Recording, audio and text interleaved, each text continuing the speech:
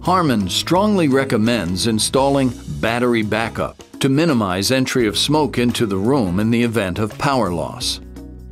Your pellet biomass burning appliance relies on a combustion blower to remove exhaust. A power failure will cause the combustion blower to stop, which may lead to exhaust seepage in the room. Vertical rise in the venting may provide natural draft. It is, however, no guarantee against leakage.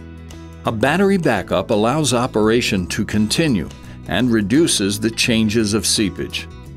There are three Harman approved battery backup options for your appliance. Uninterruptible power supply UPS battery backups are available online or at computer and office equipment stores. The APC American Power Conversion Model number BE750G and the Tripp Lite model Internet 750U are tested and approved. These units typically provide 1 to 2 hours of power and are meant to simply shut down the unit. Harman Surefire 512H battery backup.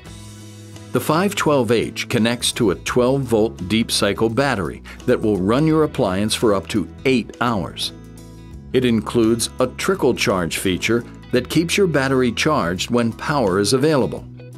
Note, if the power is out for longer than the battery life, smoke leakage may still occur unless your stove has been safely shut down.